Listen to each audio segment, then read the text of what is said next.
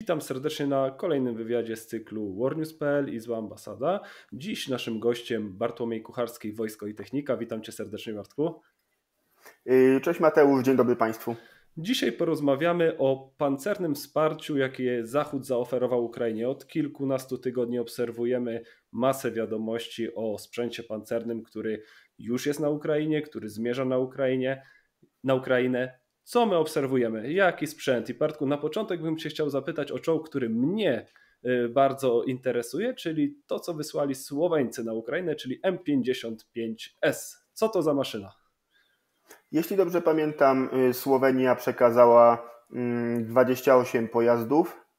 Mm, to jest y, nic innego jak stary, dobry, mm, kiedyś oczywiście dobry T-55, czyli czołg produkcji radzieckiej, produkowany zresztą nie tylko w Związku Radzieckim, bo również w Polsce, w Czechosłowacji, w Chinach, nawet wiele lat po zakończeniu produkcji w Związku Radzieckim. Sęk w tym, że w wersji zmodernizowanej już y, po upadku Jugosławii, jeśli dobrze pamiętam. Y, czołg ten otrzymał właśnie w wersji M55 y, system, względnie nowoczesny system kierowania ogniem, mm, trochę opancerzenia dodatkowego, co prawda dziś już niewystarczającego, ale na ówczesne warunki bałkańskie. Pamiętajmy, że tam w grę wchodziły na przykład walki mm, z Serbią, Mm, było to w zupełności wystarczające rozwiązanie. Jeśli dobrze pamiętam, również zmieniono y, działo na brytyjską armatę 105 mm, ale nie chcę tutaj nikogo wprowadzać w błąd. Bo tego pewien w tej chwili nie jest. Wyprowadź mnie z błędu, bo chyba y, przy modernizacji tego czołgu y, brał udział także Izrael. Mm, tak, jeśli się nie mylę, jest tam zamontowany system kierowania ogniem Elbitu. Okej. Okay. Jakiej, masz informację, jak, jaka to jest ilość tych czołgów, jak one zostaną na Ukrainie wykorzystane? No bo już widzimy kilka materiałów, były filmiki z transporterami opancerzonymi M113. Jak Ukraińcy je mogą wykorzystać przeciw maszynom y, rosyjskim? Jak wspomniałem, 28 sztuk. Być może uda się wyskrobać coś jeszcze. Mm, to pozwoli na sformowanie, powiedzmy, dość słabego batalionu czołgów, prawdopodobnie e, będą użyte raczej nie na jakimś głównym kierunku, czy to natarcia, czy, czy obrony, lecz jako e, jednostka działająca na jakimś odcinku drugorzędnym, czy nawet trzeciorzędnym, ze względu na to, że mimo modernizacji nie są to czołgi nowoczesne, mm, ze względu na to, że wykorzystują e, armatę tak czy siak o bruzdowanym przewodzie lufy z lat 50., Y, mimo wszystko pancerz jest przede wszystkim stalowy, więc rosyjskie pociski, nawet starsze, kalibru 125 mm, bez większego problemu sobie poradzą. Podobno, podobnie broń piechoty. Y, mobilność też jest jaka jest, mm, więc raczej traktowałbym to mm, w charakterze oddziałów odwodowych, czy też pilnujących jakiegoś pobocznego odcinka. Natomiast mogą być też wykorzystywane chociażby na kierunku białoruskim, na wszelki wypadek, żeby odciążyć jakieś y, oddziały wyposażone w bardziej wartościowy sprzęt, mm, które mogłyby wówczas trafić na front. Y, przy czym mimo wszystko te czołgi, jak wspomniałem, pewną wartość bojową właśnie ze względu na względnie nowoczesny system kierowania ogniem y, mają. No na pewno większą niż czołgi rosyjskie wysłane niedawno, bo Rosjanie też wysłali czołgi z tej rodziny, przy czym są pewne wątpliwości, czy były to T-54B czy T-55, y, były również T-62. Mm, jakaś część tych czołgów trafiła y, tak, jak je y, jaśniej oświecony Buksowiec stworzył lat temu, powiedzmy niemalże 70, więc nie jest to szczyt techniki. Niektóre są wręcz skandalicznie pordzewiałe. Mm, widać rdzewy łażącą spod farby i nie jest to ewidentnie efekt działań bojowych, tylko po prostu w ramach hehe rozkonserwowania nie przeprowadzono nawet y, jakiegoś poważniejszego remontu. Mm, więc mimo wszystko w stosunku do takich maszyn, których Rosjanie na froncie używają, M55 y, będzie już dosyć sporym postępem. Bartku, miałem o to nie pytać, bo nie, to nie temat rozmowy, ale zapytam krótko, jakbyś mógł powiedzieć, czy Rosjanie nie dysponują już nowoczesnym sprzętem i te maszyny, które obserwujemy coraz starsze z miesiąca na miesiąc będą się częściej pojawiać, czy oni jednak jakieś nowoczesne maszyny trzymają w obwodzie, bo jednak to, co y, wysyłają teraz w zupełności wystarcza przeciwko siłom zbrojnym Ukrainy? W gruncie rzeczy to do końca nie wiadomo y, ze względu na to, że poza ściśle y, wyspecjalizowanymi ośrodkami zajmującymi się gromadzeniem, zdobywaniem, gromadzeniem, obróbką danych, przy czym mam tu na myśli ośrodki szczebla państwowego, jakieś agencje wywiadowcze i tak dalej, i mam tu na myśli prawdziwy wywiad, a nie ludzi zajmujących się oglądaniem obrazków w sieci, których praca jednak też jakieś tam znaczenie swoje ma, wbrew pozorom. Y, to poza wyspecjalizowanymi ośrodkami nie sądzę, by ktoś miał wiedzę pozwalającą jednoznacznie stwierdzić, y, na jakim poziomie są w tej chwili Rosjanie. Mm, możliwości są, możliwości jest właściwie kilka.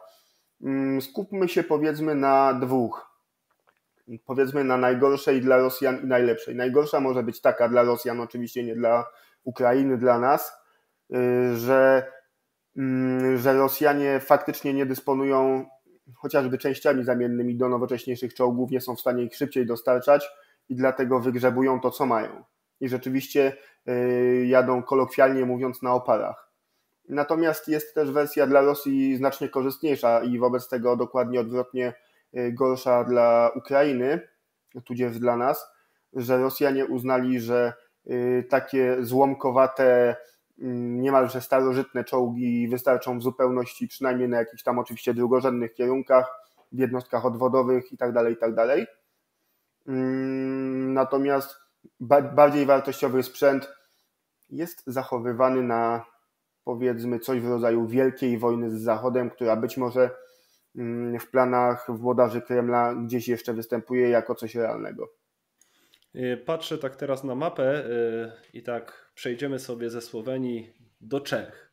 Czesi wysyłają zmodernizowane czołgi. Co to za maszyny? Bo dużo się o nich mówi, że to są dość już maszyny na wysokim poziomie przez Czechów, przez firmę Excalibur zmodernizowane. Mm, konfiguracji czołgów wysyłanych przez Czechy dokładnej nie znam, nie kojarzę, by była podawana. Y, natomiast Y, Czesi wysyłali innymi i trochę własnych czołgów, innymi y, pojawiła się informacja, że dorzucą 12 y, własnych czołgów, przy czym mm, mogą to być zarówno skupione skądś T-72B, jak i rodzime czeskiej produkcji czechosłowackiej właściwie jeszcze mm, T-72M, M1. Natomiast podstawą tego, co Czesi wysyłają, nie jest to do końca pomoc czeska, tylko to są Y, wozy remontowane i modernizowane za pieniądze, jeśli dobrze pamiętam, amerykańskie i holenderskie, pozyskane skądinąd tak mm, przez firmę Excalibur, która nie tylko zajmuje się produkcją, w ogóle cała Czechosł Czechosłowak Group zajmuje się nie tylko produkcją i remontami uzbrojenia, ale również y, obrotem specjalnym. I w związku, mm, w związku z tym y, przyszły kontrakty na remont i modernizację, jeśli dobrze pamiętam, około 90 czołgów. Tak jest. Chyba w dwóch partiach po 45 sztuk. Mm, prawdopodobnie y, taki pakiet byłby w jakimś stopniu oparty o prezentowany bodajże w 2017 roku y, pakiet Scarab, y, czyli czołg T-72, mm, wówczas M1, ale mógłby to równie dobrze być inny T-72 jako pojazd bazowy, z pancerzem dodatkowym opartym prawdopodobnie o standardowy dla wojny na Ukrainie mm, kontakt 1 choć możliwe byłoby też wykorzystanie innych rozwiązań, chociażby y, czeskich, chociażby dyny. Mm, prawdopodobnie będą przynajmniej spasywizowane y, przyrządy obserwacyjno-celownicze, y, również optyka mm, kierowcy byłaby spasywizowana, a być może będą to będą wykorzystane jakieś przynajmniej prymitywne przyrządy kierowania ogniem. Należałoby się spodziewać również nowocześniejszej łączności, i być może jakichś drobniejszych zmian typu e, wprowadzenie nawigacji satelitarnej, e, typu mm, jakichś poprawek związanych z ergonomią, etc., etc. Natomiast nie spodziewałbym się czegoś tak przełomowego e, jak chociażby nasz twardy czy mm, czeski T72 M4CZ ze względu na krótki czas realizacji prac. No właśnie, zanim porozmawiamy o Polsce i o twardym, to porozmawiamy jeszcze o pojeździe, które wśród miłośników broni pancernej y, wzbudził duże zainteresowanie, a mianowicie o francuskim, no właśnie, czy możemy powiedzieć czołgu, o pojeździe AMX. Co to za maszyna y, i jak Ukraińcy ją wykorzystają przeciwko sowieckim pojazdom? O żadnym czołgu nie ma mowy. No właśnie. Yy, rzeczywiście Ukraińcy dostali AMX-10, jeśli dobrze pamiętam, LC, bo AMX-10 yy, mieli Francuzi również gąsienicowy AMX-10P. Od taka drobna dykteryjka, jak to Francuzi yy, jasno i klarownie, klarownie oznaczają swoje pojazdy. Co kraj to obyczaj. Ale wytłumacz, Natomiast... wytłumacz mi jako laikowi, co to jest za maszyna, jak my ją możemy klasyfikować? Mm, biorąc pod uwagę to, po co została zaprojektowana, po co powstał y, AMX-10RC, mm, powiedziałbym, że jest to pojazd wsparcia ogniowego oddziałów rozpoznawczych. Bo pierwotnie powstał y, jako powiedzmy element sił rozpoznawczych, ciężkich sił rozpoznawczych. Pamiętajmy, że y, pierwotnie oddziały rozpoznawcze potrafiły dysponować nawet zupełnie prawdziwymi czołgami średnimi, czy też później podstawowymi. Mm, Francuzi ze względu na y, dużą y, przykładaną wagę do działań w Afryce, do, ze względu na dużą y, wagę przykładaną do mobilności, mm, wprowadzili dużą liczbę różnego typu pojazdów kołowych. Mm, tym samym pojawił się też AMX-10RC. Pojazd kołowy lekko opancerzony, Y, zgwintowaną armatą 105 mm. Co ciekawe, nie jest to armata y, taka sama jak w Leopardzie 1 czy mm, w starszych czołgach brytyjskich czy w amerykańskim M60, mm, tylko armata y, na inną, słabszą amunicję. Między innymi ze względu na to, że jest to pojazd stosunkowo lekki, więc mm, trzeba było zapewne opracować stosunkowo lekką armatę o mniejszym odrzucie, żeby co tu dużo mówić, Mm, pojazd nie zrobił fikołka podczas strzelania. Czy są już jakieś informacje, bo jakiś czas temu głośno było o możliwości transferu Leclerców na, na Ukrainę? Czy ten temat w Francji ucich i tylko przetransferowane AMX-y zostaną przekazane Ukrainie, czy Francuzi jeszcze mają coś w zanadrzu, co mogą dostarczyć Ukraińcom? Jedyne, z czym się spotkałem w temacie czołgów, tym razem prawdziwych czołgów, bo jak wspomniałem, AMX-10 LC Y, pomimo dobrych chęci mm, różnych komentatorów czołgiem nie był, nie jest i nie będzie, mm, to było w jednym z mediów, bodajże w Le Figaro, mm, wspomniane na temat tego, że we Francji jest rozważane, nie wiadomo jednak przez kogo, czy przez Pałac Elizejski, czy przez Ministerstwo Sił Zbrojnych, wysłane, wysłanie partii 10 bądź 14, już w tej chwili nie pamiętam, Leclerców. To był okres powiedzmy stycznia, lutego. I od tamtej pory cisza. Zresztą podobnie mm, rzecz się wtedy miała z Włochami i C1 Ariete. Natomiast ostatnio temat zupełnie przycichu. Yy, na Ukrainę bądź w pobliże Ukrainy yy, docierają Leopardy, docierają Challengery, natomiast Leclerca i Ariete nie widać.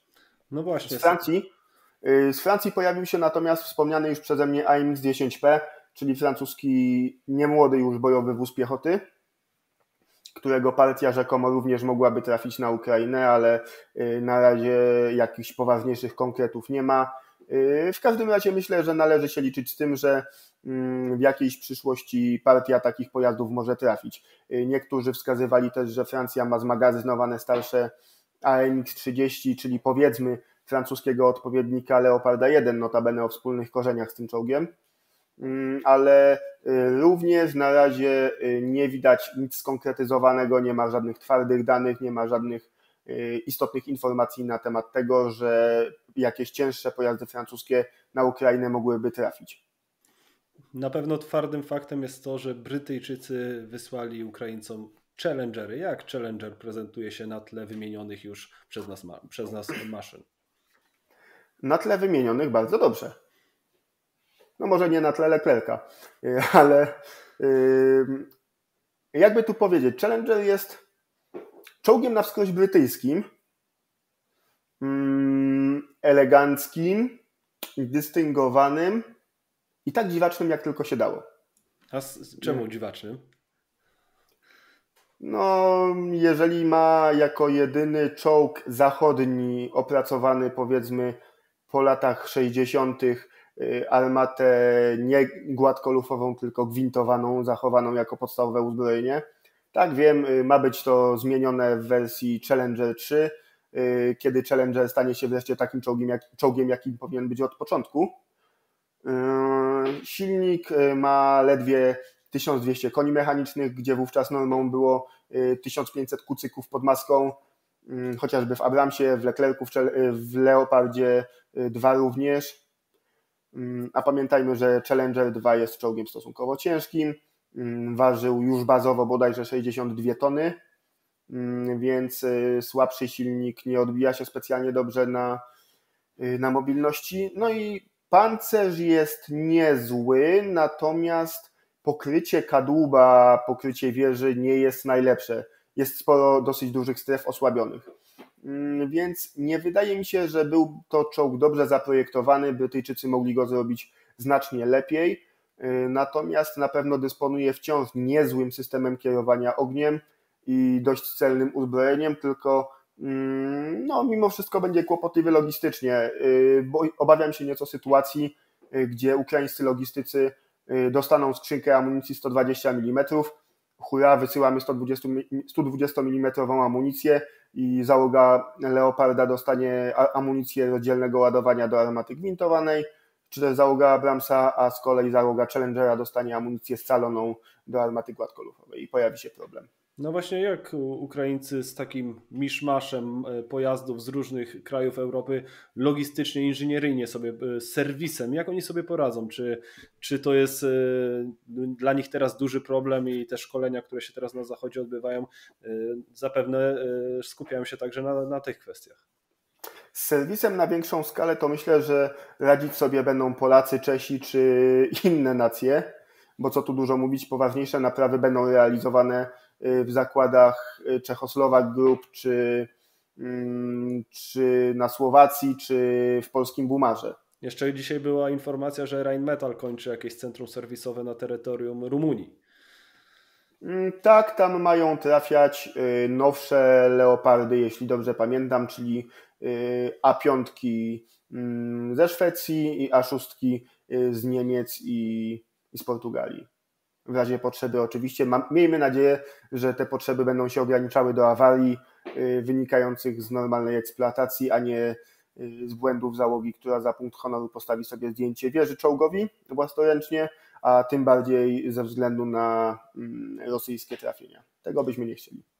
Bartku, to wrzućmy teraz do jednego worka e, kilka państw, bo i wspomniana przez Ciebie Szwecja, Polska, Niemcy, Kanada i kilka jeszcze innych państw wysyłają właśnie leopardy na Ukrainę. O jakich my maszynach mówimy? No, Duńczycy mówią o leopardach 1, kilka wariantów e, i z Polski i z Niemiec. E, jaki to jest przedział? Leopardy 1 i co dalej? Mm, mówimy tutaj o leopardach 1A5, które niemiecki przemysł postulował wysłać Y, praktycznie y, w pierwszych dniach wojny, tylko y, nie było zgody politycznej ze strony rządu kanclerza Scholza, co zresztą było mm, przedmiotem krytyki i komentatorów zagranicznych, i komentatorów krajowych, w tym również polityków koalicji rządzącej Niemcami i również ze strony przedstawicieli chociażby Rheinmetalla czy, czy KMW. Zresztą, co tu dużo mówić, była to krytyka słuszna, bo być może gdyby Niemcy y, te najstarsze nawet czołgi uwolnili wówczas, dzisiaj Ukraina może byłaby w trochę innym miejscu, jeśli chodzi o, o walki, o, o sytuację na froncie. Y, natomiast chodźmy może od najstarszych maszyn. Mm, Leopardy 1 na 3 raczej na front nie trafią, choć i takie są zmagazynowane przez niemiecki przemysł. Natomiast trafią na pewno Leopardy 1 na 5. Y, czołgi te mają przekazać wspólnie Holandia, Dania i Niemcy. Są to czołgi opracowane y, po fiasku wspólnego francusko-niemieckiego programu. Tam przez moment uczestnikiem były też Włochy. Y, finalnie Niemcy i Francuzi opracowali osobne czołgi. Leopard 1 powstał według koncepcji pojazdu stosunkowo lekko opancerzonego, jak na tamte czasy, lżej niż maszyny sowieckie, amerykańskie czy brytyjskie za to bardzo dobrze uzbrojonego, mm, ze znakomitym systemem celowniczym, jeszcze nie systemem kierowania ogniem, z bardzo wysoką mobilnością i bardzo dobrą ergonomią, bardzo dużą podatnością eksploatacyjną również. Natomiast A5 to jest ostatnia mm, wersja produkcyjna, właściwie nie produkcyjna, tylko wariant modernizacyjny już z całkiem przyzwoitym systemem kierowania ogniem, właściwie tożsamym z Leopardem 2.4, y, więc y, jest to już całkiem przyzwoity pojazd. Odstaje oczywiście od najnowszych standardów ze względu na, tak jak wspomniałem, bardzo słaby pancerz. Armata bruzdowa na 105 mm y, też nie jest już najnowsza, natomiast dobrze wykorzystany pojazd ten powinien być w stanie upolować większość czołgów rosyjskich, o lżejszych pojazdach nie mówiąc. Ukraina ma ich otrzymać, jeśli dobrze pamiętam, 84 lub 88 do końca tego roku, przynajmniej tyle plany, i około setki wozów w przyszłym roku. Mm, co do nowszych wozów, y, będą to Leopardy 2.4, więc y, pojazdy znacznie nowocześniejsze, y, już z pancerzem specjalnym. Mm, dziś już oczywiście nie są to pojazdy nowoczesne. Pamiętajmy, że Leopard 2.4, w ogóle Leopard 2 wszedł do służby pod koniec y, lat 70., wariant 2.4 w połowie lat 80.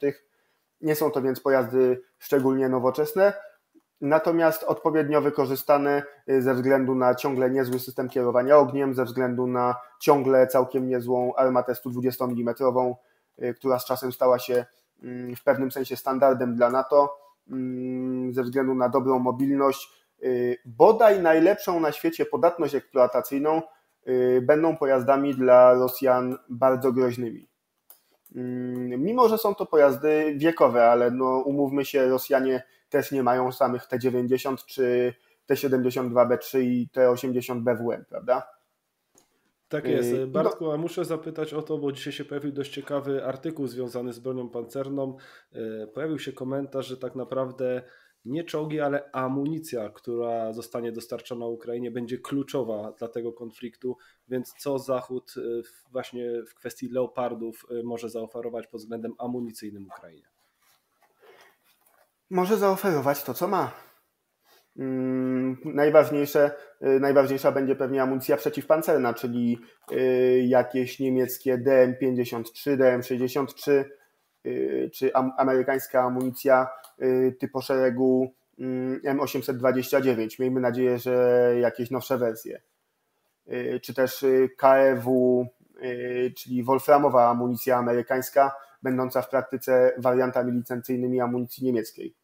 O czym się u nas mało mówi. Wspomniałeś, właśnie o tego typu amunicji. Jak ona wpłynie na Y, spotkanie się ukraińskiego czołgu z, z rosyjskim. Jeżeli będzie to amunicja y, nowszych wariantów, czyli powiedzmy KEW-3, y, jeżeli to będzie DM 53, 63, 63A1, jeżeli będzie to pocisk z rdzeniem uranowym M829, powiedzmy A2, A3, Y, to w większości przypadków czołgi zachodnie, zachodniej produkcji, bo w tej chwili już ukraińskie oczywiście, y, będą w stanie y, zniszczyć w większości sytuacji czołgi rosyjskie. Więc jest to też istotny element wsparcia, żeby Ukraińcy dostali przynajmniej względnie nowoczesną amunicję, a nie tylko jakieś starsze typy, przykładowo najstarsze M829 czy niemieckie DM33A1. Wspomniana przez Ciebie amunicja z uranem wzbudziła duże emocje w Rosji. Wytłumacz nam, czym ona różni się od podstawowej amunicji wykorzystywanej w, broni pancernej. Jak można się domyślić, grzybka raczej nie robi takiego ładnego jak nad Hiroshima czy Nagasaki. Mało tego, za nieboszczki komuny, słusznie minionej, yy, wykonywano w Polsce młotki z uranu zubożonego.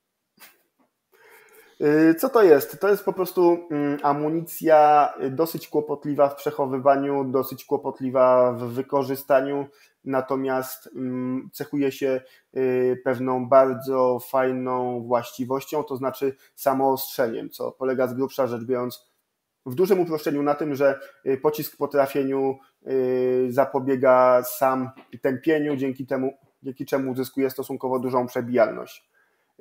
Co ciekawe, amunicja uranowa mm, że tak powiem, woli niższe prędkości wylotowe, niższe prędkości trafienia w stosunku do amunicji wolframowej.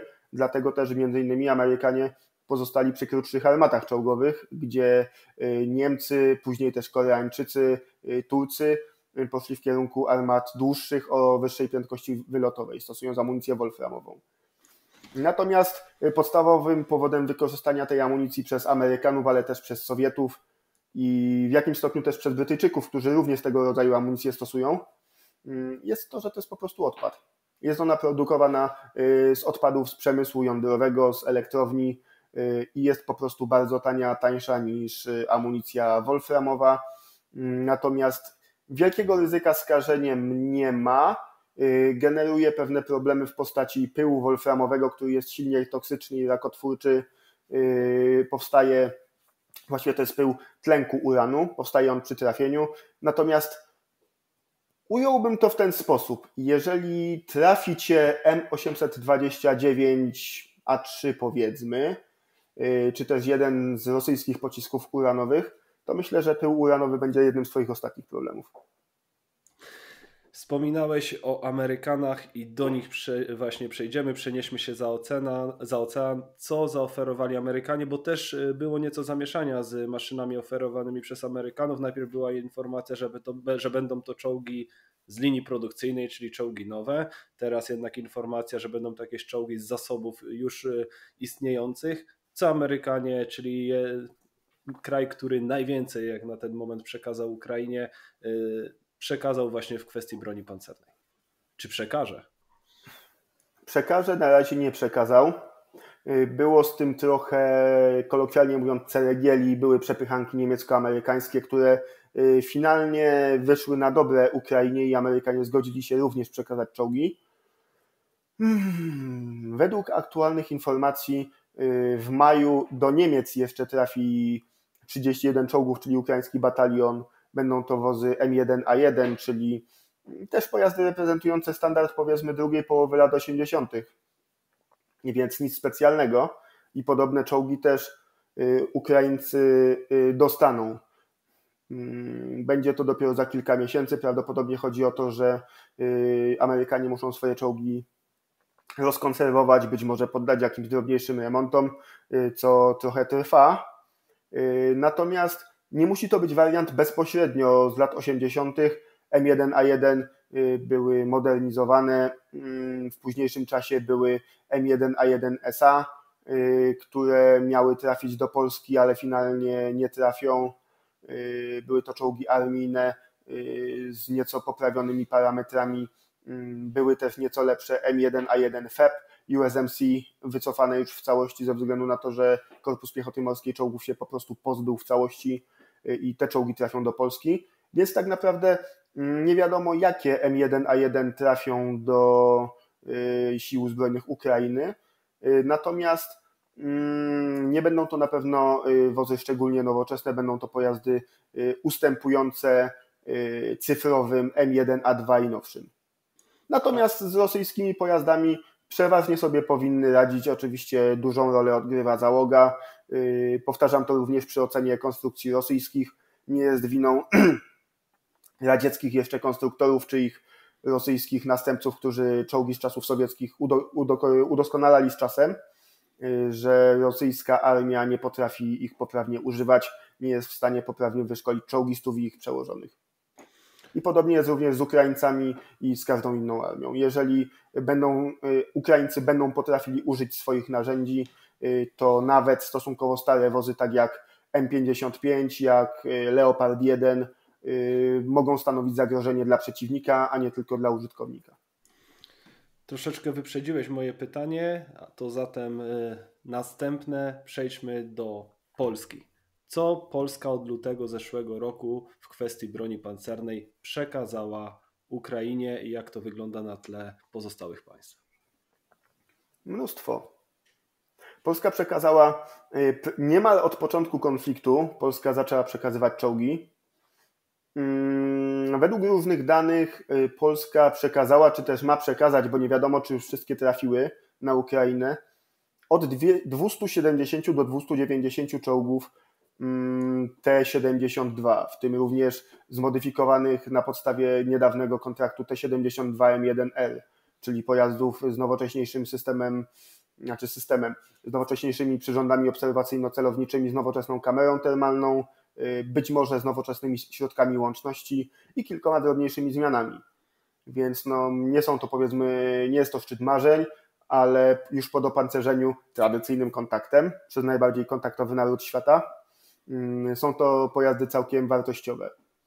Mm, I one y, stanowią w tej chwili dosyć spory odsetek siłą rzeczy czołgów ukraińskich. Zobaczmy zresztą o czym my, o czym my mówimy. Polska samych tylko T-72 przekazała blisko 300 sztuk, mm, natomiast w wypadku y, Leopardów 2 Niemcy 18 sztuk, Portugalia 3, y, Hiszpania bodajże 6 lub 8, Kanada chyba 8 i tak dalej, i tak dalej.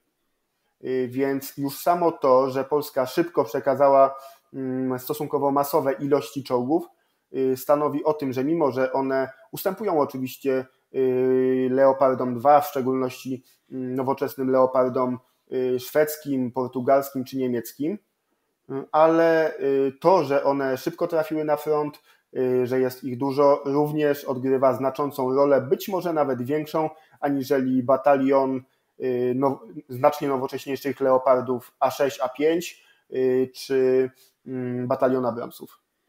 Bartku, to, to jest duża ilość, no bym powiedział wręcz ogromna.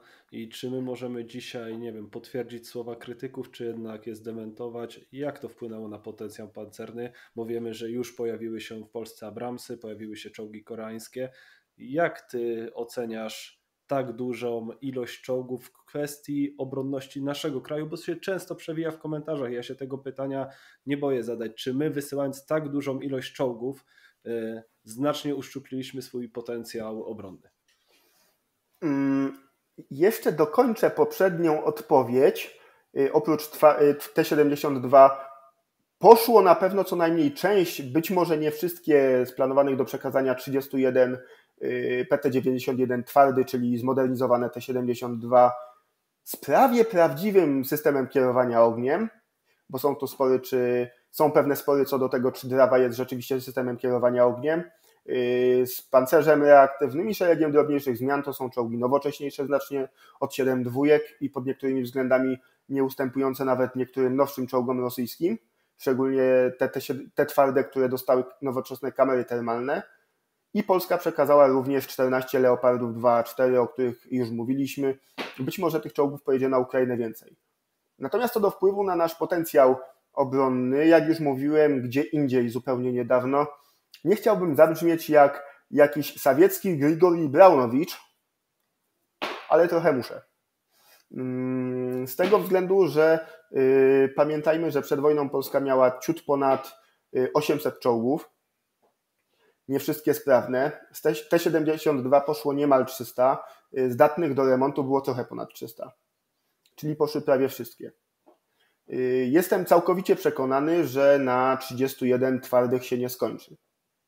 Mm, nie można wykluczyć, że skończy się na 14 leopardach w pewnej dłuższej perspektywie czasowej, powiedzmy jesieni. Mm, jak to wpływa na nasz potencjał? Mm, Polska, polskie władze zamówiły o, oczywiście 250 y, Abramsów y, kilka lat temu w wersji M1A2 CV3. Są to, będą to czołgi całkiem nowoczesne, ale dotrą do Polski dopiero za jakiś czas.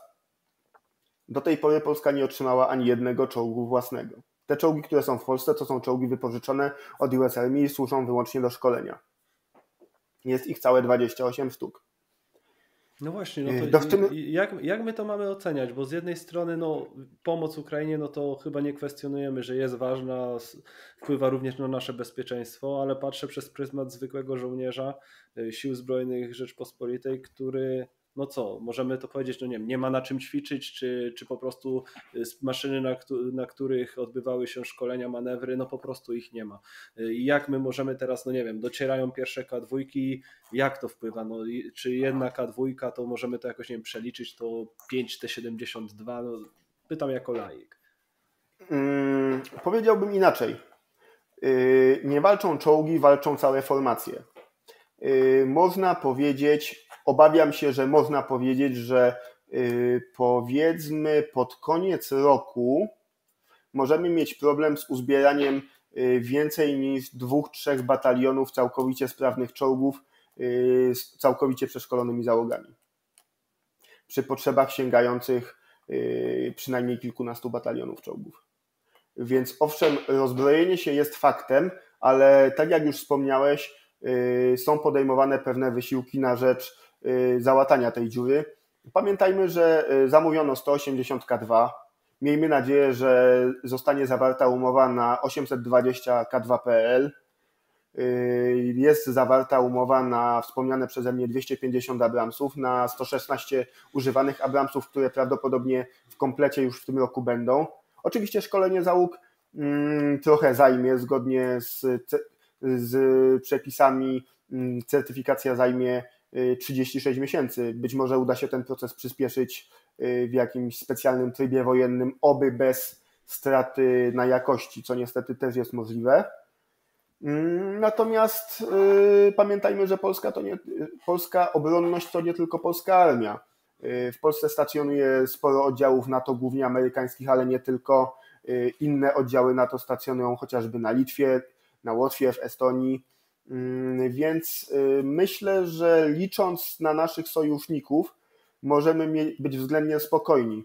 A ponadto trzeba liczyć też na Rosjan, chociażby w ten sposób, że im więcej oni tracą sprzętu i ludzi na Ukrainie, im dłużej siedzą na Ukrainie, im dłużej Y, ponoszą na Ukrainie straty. Im więcej Ukraińcy usuną y, rosyjskich żołnierzy i sprzętu, y, tym my będziemy mieli więcej czasu na to, żeby tych K2 nie było kilka, kilkanaście sztuk, kilkadziesiąt sztuk, tylko kilkaset, żeby skompletować przynajmniej część Abramsów, mm, żeby dokończyć program K2PL, który też wpływa w jakiś sposób na gotowość polskiej armii, bo duża część czołgów Leopard 2 Y, zarówno A4 jak i A5 y, stoi w Bumarze i w Poznaniu na remontach.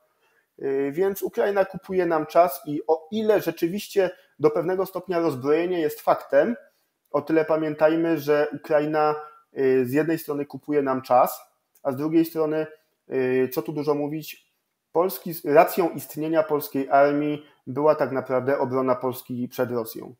Czy to źle, że y, jako wkładka w czołgu siedzi Ukrainiec zamiast Polaka? Czołg ten spełnia swoją rolę, działo spełnia swoją rolę, przykładowo krab, y, piorun spełnia swoją rolę, a jeżeli mm, w zamian za zniszczony rosyjski samolot, zniszczony rosyjski czołg, zabitego rosyjskiego żołnierza nie są bombardowane polskie miasta, to uważam, że jest to czysty zysk dla Polski. Ja jestem dokładnie tego samego zdania, ale jeszcze cię pociągnę za język. Pamiętasz, była taka deklaracja Brytyjczyków, że jeżeli wyślemy czołgi, to oni są w stanie nam na czas y, pozyskania y, nowych modeli y, dostarczyć Challengery i wraz z brytyjskimi załogami. Czy te Challengery dotarły jednak do Polski? Te maszyny brytyjskie są na naszym terytorium, czy mówimy tylko o maszynach amerykańskich? Do Polski co jakiś czas trafiają różne czołgi. Y, pamiętajmy, że w Polsce y, zarówno trafiają do Polski co jakiś czas Challengery, y, trafiają przeważnie niemieckie Leopardy, więc no wspomniane przez Ciebie Abramsy również w Polsce są, więc jakieś wsparcie NATO zapewnia, nie mówimy tutaj wyłącznie o czołgach, ale o różnych innych formacjach. Mało się mówi chociażby o wsparciu lotniczym bo pamiętajmy, że na początku wojny był to temat modny, w tej chwili już mniej, ale stale nad Polską latają mm, spore ilości maszyn natowskich z przeróżnych państw. O, bo... moje miasto jest idealnym przykładem. Jestem sąsiadem Łasku, więc tutaj F-y od 15 do, do, do 22 latają niemal codziennie, więc no, Tylko wiesz, Bartek, obawiam się takiej, y, wiesz, no mamy rotacyjnie powiedzmy jakieś oddziały. No przykładem na przykład informacja z Niemiec, że baterie Patriot będą tylko do czerwca. I no wiesz, y, można mieć przyjaciół, ale jak to się mówi, y, liczysz na kogoś, lepiej licz na siebie, tak? Więc zastanawiam się, jak długo nam jeszcze zajmie powrót do stanu sprzed lutego. Czy ta właśnie ta polska pięść pancerna, jak długo ona będzie odbudowywana? No, wspominałeś trochę o tym, że te K2 mogą powstać, no ale jaki to jest okres? Dwóch, trzech lat? Przez te dwa, trzy lata możemy wyłącznie opierać się na gwarancjach sojuszniczych, którzy, jak wiemy z historii, różnie z nimi bywało. 12? No łatko. No to, to, to mnie troszkę załamałeś. Jezu, yy, sprawa jest dosyć prosta. Yy, na razie mamy zamówione raptem, no Abramsy mamy, miejmy nadzieję, wszystkie. Jak yy, nie jest tajemnicą, że wielkim fanem Abramsa nie jestem, ani w polskiej armii, ani w ogóle. Y, natomiast one są zamówione, w komplecie będą, jeśli dobrze pamiętam, do końca 2026 roku, o ile nie będzie jakiejś obsługi, która się może zdarzyć, ale nie powinna być duża więc powiedzmy będziemy mieli 366 czołgów, y, szkolenie załóg zakończymy wobec tego, licząc, że do końca 26 dotrą wszystkie Abramsy, to w pełni certyfikowane bataliony na Abramsach, o ile nie będzie żadnych problemów y, pokroju niedoboru chętnych i tak dalej, y, będziemy mieli 3 lata później, więc powiedzmy w końcu 29 roku. No to jeszcze trochę. Pierwszy batalion certyfikowany, o ile ta certyfikacja nie będzie przyspieszona, na K2 będziemy mieli, tu zagadka matematyczna, kiedy? Nie wiem, oświeć mnie. Koniec 25. Okej, okay. no, to, no to te dwa lata, tak? No, no, no, no dobra, no to, Mówi, to, to nie jest Mówimy o jednym batalionie. Tak jest. No, no to, to, to, nie są jakieś optymistyczne dane. No mnie cieszy oczywiście ta modernizacja, czy Abramsów, czy, czy K2, no ale jednak cały czas się zastanawiam, co gdyby, tak? No bo tak naprawdę teraz no, opieramy się wyłącznie na zagranicznym sprzęcie e, w kwestii obronności naszego kraju. Zgadza się. Niestety tak to wygląda, ale mm, wojna na Ukrainie stworzyła ciekawą kulturę memów. Yy, można powiedzieć, że yy, głód, bieda, yy, chłód, wysokie ceny energii, in, inflacja i wojna atomowa to niewielka cena za zniszczenie Rosji. No, no to się zgadza. Y, nie chcę. Y, ja wiem, że to jest y, do pewnego stopnia tragiczne, bo my rzeczywiście te koszty wojny pewne ponosimy. Mamy rzeczywiście prawdą jest wpływ wojny na inflację, różne ciemne biznesy realizowane przez odpowiedników dawnych duńskich baronów wołowinowych, jak chociażby niedawne afery zbożowe również są robione, które pogłębiają te problemy. Mm, są różne inne kwestie związane z wojną, są podniesione wydatki obronne, co również dla gospodarki niekoniecznie jest dobre i tak dalej. Mm, natomiast y, pamiętajmy, że y, to, że Ukraina się obroni, też jest formą inwestycji w nasze bezpieczeństwo. No tu się zgodzę, to... tylko to, co wspomniałeś, wiesz, no, ja widzę na przykład poprzez akcje, które my organizujemy, mówię o akcjach charytatywnych czy to zabrzmi źle, czy dobrze, dużej części Polaków ten konflikt się po prostu przejadł. Tak? Widzimy z jednej strony e, chęć pomocy, ale z drugiej strony to, o czym, o czym wspominałeś. Ludzie mają mniej w portfelu, jest e, informacja o zbożu technicznym z Ukrainy, e, więc mam wrażenie, że jeżeli nie nastąpią w najbliższym czasie jakieś postępy, e, ta słynna, mityczna kontrofensywa, o której tak naprawdę eksperci rozmawiają od grudnia e, zeszłego roku, no to, to pod względem wsparcia Ukrainy wśród przeciętnego Polaka będzie z miesiąca na miesiąc coraz gorzej. Ja właśnie na koniec chciałbym Cię jeszcze zapytać, jak ta pieśń, pieśń przepraszam, pięść pancerna wpłynie na możliwą kontr, kontrofensywę wojsk y, y, ukraińskich. W bardzo niewielkim stopniu. Czyli te maszyny nie, nie są, powiedzmy, y, nie przesądzają o tym, jak ta kontrofensywa będzie wyglądać. Mówi, pamiętajmy o jakich liczbach mówimy. Mówimy o 62 Leopardach 2.4, jeśli dobrze pamiętam plus 14 mają wspólnie kupić y, Holandia i, i Dania, prawdopodobnie y, wozów y, hiszpańskich lub szwajcarskich, które też trafią na Ukrainę, ale dopiero niemalże za rok.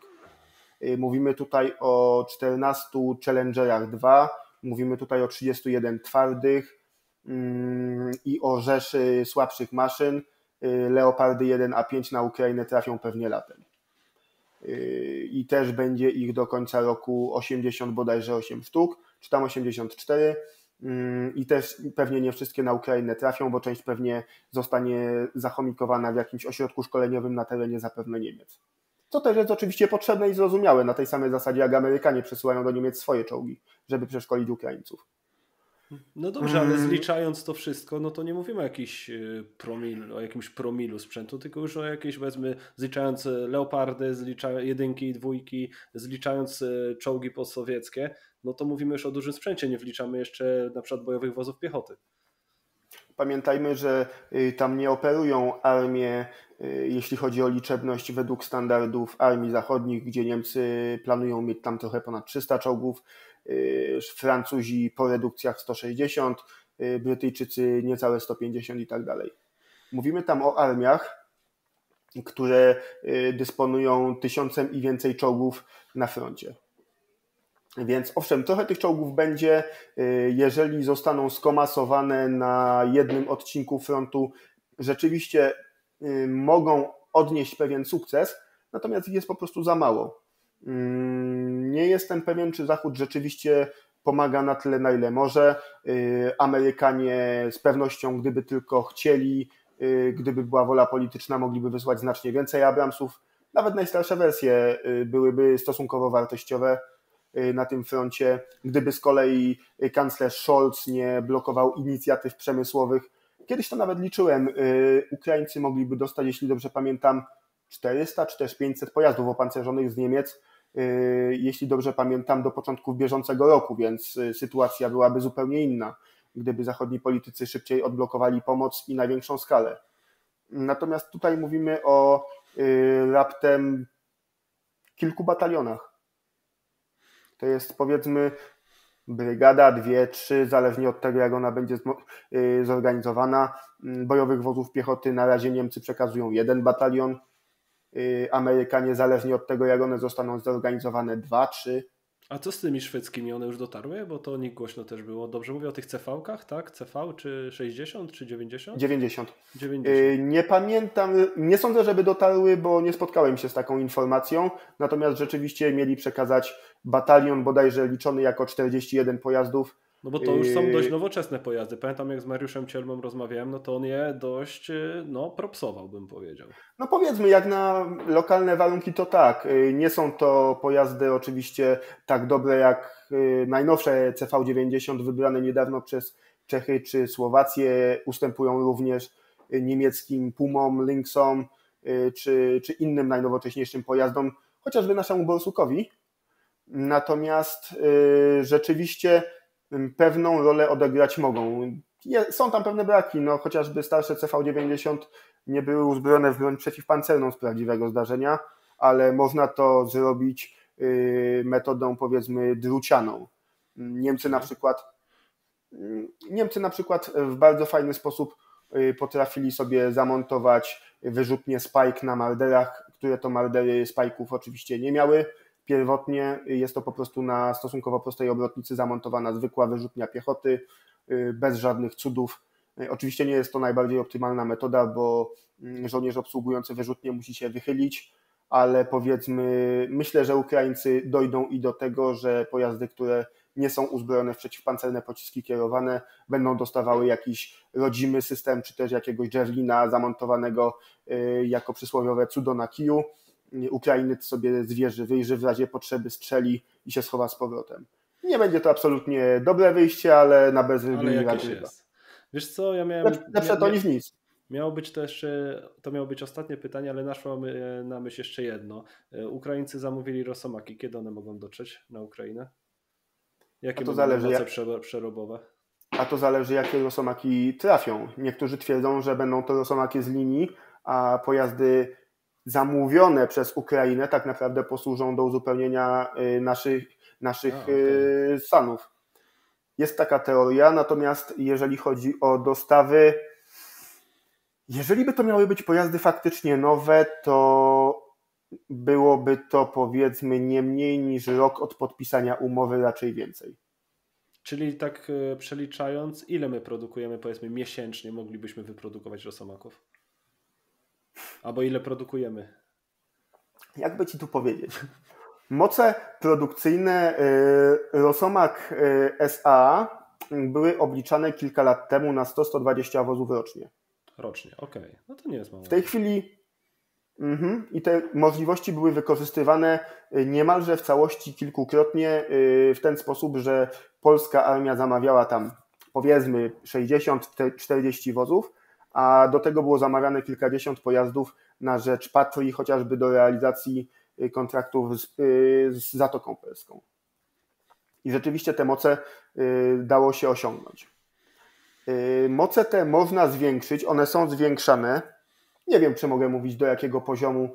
Y, mam, mam powiedzmy taką wiedzę, ale może to sobie to zostawimy. Powiedzmy, że są zwiększane. Są zwiększane i to dosyć znacząco. Y, powiedzmy, teoretycznie będą jednymi z największych w Europie, być może największymi. Y, tylko pojawia się problem. To, że się mianowicie są w stanie coś zrobić, nie znaczy, że to zrobią. Z prostej przyczyny.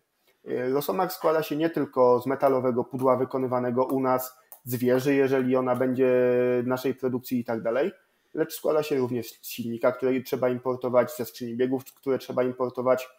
Mm, I w dużej mierze jesteśmy ograniczani y, przez poddostawców. Y, odnosząc się powiedzmy do mm, słynnego powiedzonka na temat y, prędkości przemieszczania się kolumny pojazdów takich czy innych, Y, moce przerobowe, maksymalne moce przerobowe y, każdej fabryki zbrojeniowej są maksymalnie takie, jak moce przerobowe jego y, poddostawców. I jeżeli Rosomak będzie w stanie, mówię kompletnie, powiedzmy przykładowo, wykonać 500 Rosomaków, nie jest to wartość prawdziwa, mniejsza z tym, co z tego, że będzie w stanie wyspawać 500 kadłubów, będzie w stanie zmontować 500 Rosomaków, jeżeli dostanie na przykład 150 silników. Okej. Okay. Okej, okay, wiem o co chodzi w takim razie. A Bartek, jeszcze jedna kwestia mi przyszła na myśl. Obiecuję, że ostatnia. Y, często krytycy wsparcia Ukrainy mówią o tym, że wiele państw najpierw y, deklaruje, że chce coś w zamian, my oddajemy. Jak było w przypadku Polski Abramsów? Czy my rzeczywiście dostaliśmy dobrą cenę za, za te Abramsy, czy w przypadku właśnie broni pancernej Amerykanie sojusznicy zaoferowali nam coś w zamian?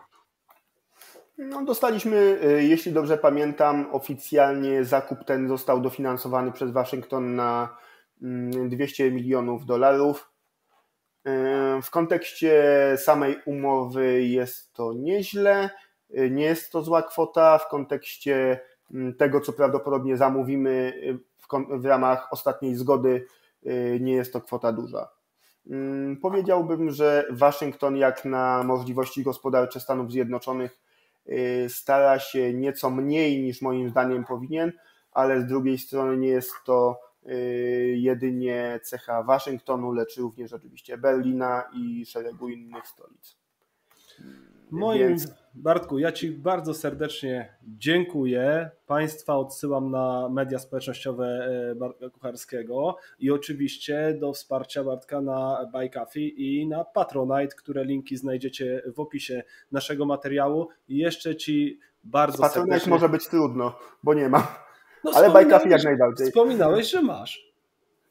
Nie mam, ale y, to było pytanie ogólne ogólne, no to za, zachęcamy Bartka, żeby ten Patronite założył. Jak tylko się e, pojawi, to oczywiście umieścimy go w linku. Jeszcze raz gorąco Ci dziękuję. Mam nadzieję, że to nie nasza ostatnia rozmowa. Zachęcamy Was również do subskrypcji naszego kanału i odwiedzenia Warnews na Twitterze. A u mnie bajkafi musi wystarczyć, także kierowniku poratuj na piwo. Poratujcie, poratujcie biednego chłopaka, ale zachęcamy Cię naprawdę do Patronite'a, bo to dość ciekawa platforma. No pewnie tak. Jeszcze raz moim i Państwa gościem Bartłomiej Kucharski. Dziękuję, mam nadzieję, że się podobało. Na razie.